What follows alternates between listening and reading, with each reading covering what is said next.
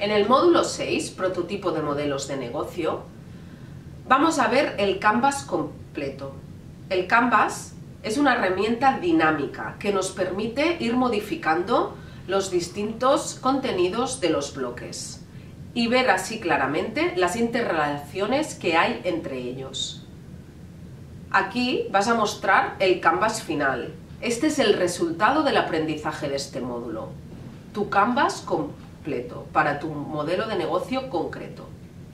Eric nos va a mostrar la foto final de su canvas y Sara hemos ido viendo cómo lo ha construido módulo a módulo.